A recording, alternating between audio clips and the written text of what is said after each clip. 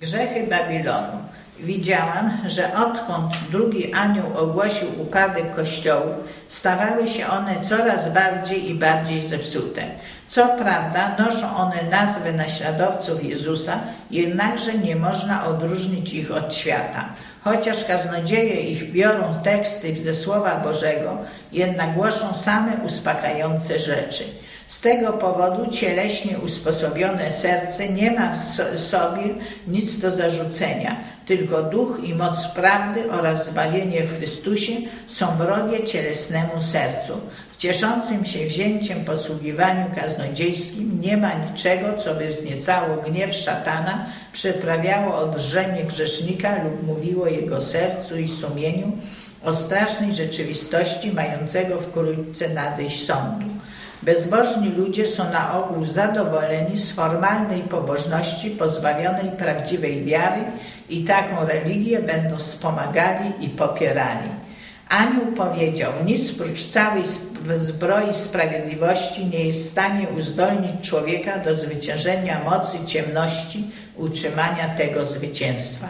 Szatan zupełnie zawładnął kościołami jako ciałem.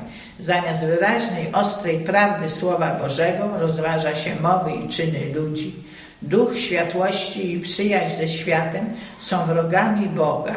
Gdy prawda w swojej prostocie i mocy taka, jaka jest w Jezusie, wystąpi przeciwko duchowi świata, natychmiast budzą się demony prześladowania. Bardzo wielu, którzy wyznają, że są chrześcijanami, nie poznało Boga. Natura ich serca nie została zamieniona, a zmysł ciała nadal pozostaje wrogi Bogu. Są wiernymi sługami szatana, mimo że przyjęli inną nazwę. Widziałam, że odkąd Jezus opuścił miejsce święte w niebieskiej świątyni i przeszedł poza drugą zasłonę, kościoły napełniły się wszelkim nieczystym i wstrętnym ptactwem. Widziałam w kościołach wielką nieprawość i podłość, a pomimo to członkowie i wciąż uważali siebie za chrześcijan. Ich wyzna wyznania, modlitwy i nawoływania są dla Boga obrzydliwością. Anioł powiedział, Bóg nie przyjmuje ich zebrań.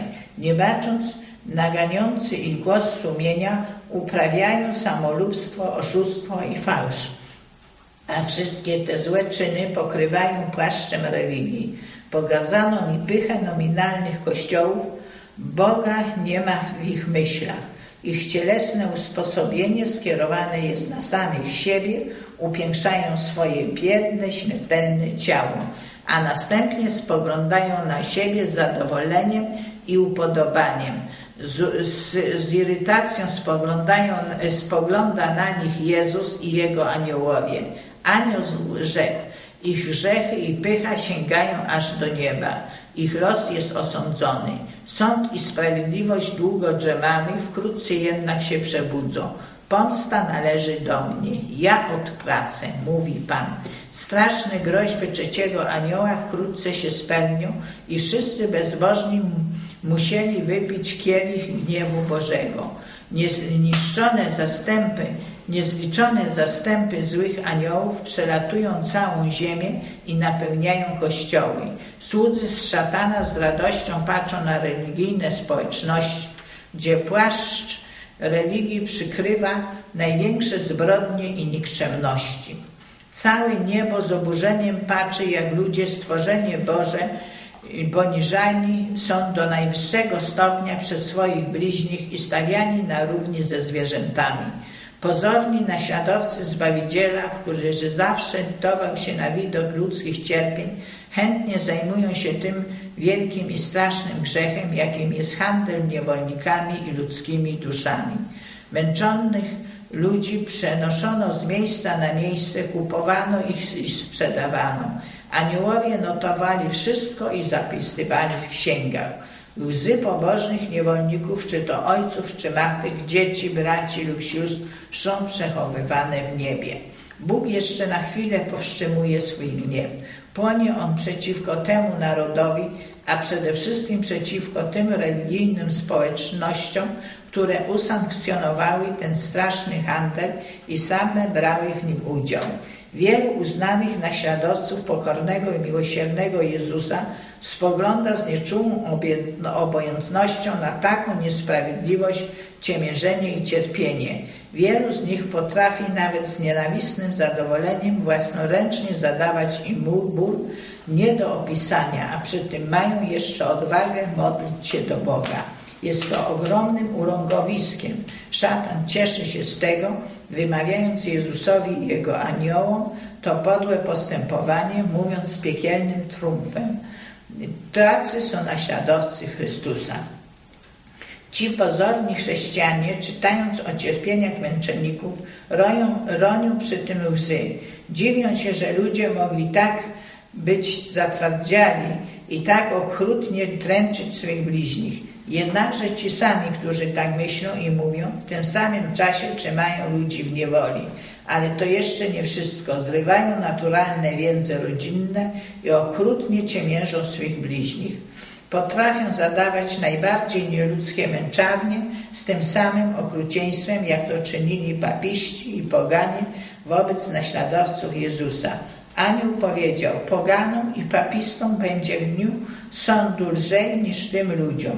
Krzyk ciemierzonych dotarł do nieba, a aniołowie są zdumieni nieopisanymi i strasznymi cierpieniami, jakie ludzie stworzeni na obraz i podobieństwo Boże zadają swym bliźnim. Anioł powiedział, imiona ciemierzycieli są zapisane krwią, podkreślone pręgami i zlane gorącymi łzami cierpień. Gniew Boży nie ustanie, dopóki ten świat nie wypije do dna kielicha jego gniewu i Babilon nie otrzyma podwójnej zapłaty. Odpłaccie mu tak, jak on czynił i oddajcie mu w dwójnasób według jego uczynków. Kielich, z którego dawał pić, napełnijcie mu w dwójnasób. Widziałam, że właściciel niewolnika będzie odpowiadać za jego duszę, bowiem trzymał go w niewiedzy i dlatego poniesie kary za jego grzechy. Bóg nie może przyjąć do nieba niewolnika poniżonego do roli bydlęcia, utrzymywanego w nieświadomości i upodleniu, nic nie wiedzącego o Bogu i Biblii, nie obawiającego się niczego innego, jak tylko barta swego Pana. Obejdzie się z nim w jak najłagodniejszy sposób, w taki, w jaki obejść się może tylko litościwy Bóg. Pozwoli mu, aby odszedł tak, jak gdyby go nie było. Natomiast jego Pan będzie musiał wycierpieć siedem ostatnich plag, a przy drugim zmartwychwstaniu zbudzony zostanie po to, by wycierpieć drugą, najstraszniejszą śmierć. Wówczas sprawiedliwości Bożej stanie się zadość. Dziękuję.